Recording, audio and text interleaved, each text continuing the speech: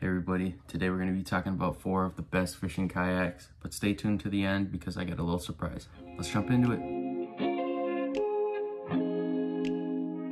When it comes to kayak fishing, there's a few things you want to look for in a kayak. First and foremost, you want a kayak that is stable and easy to maneuver. One of the best fishing kayaks, in my opinion, is the Old Town Sportsman PDL 120. This kayak is super stable and easy to maneuver thanks to its pedal-driven propeller system. It also has a comfortable and adjustable seat along with lots of space to store all your gear. Another great option for fishing kayaks is the Hobie Mirage Outback. This kayak is also pedal-driven which makes it easy to maneuver and leaves your hand free for fishing. It is also incredibly stable and has a really comfortable seat.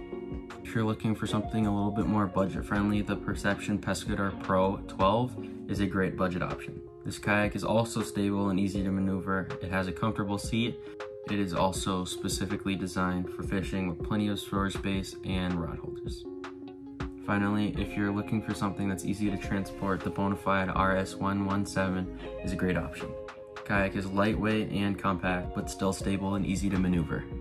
It also has a comfortable seat and plenty of storage space. So there you have it. That's my top four fishing kayaks that you can buy along with a budget one.